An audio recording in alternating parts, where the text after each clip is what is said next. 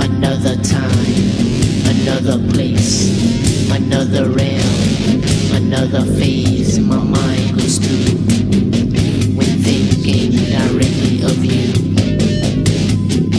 Through ESP, I see things that you cannot see. Through ESP, I enter a different reality.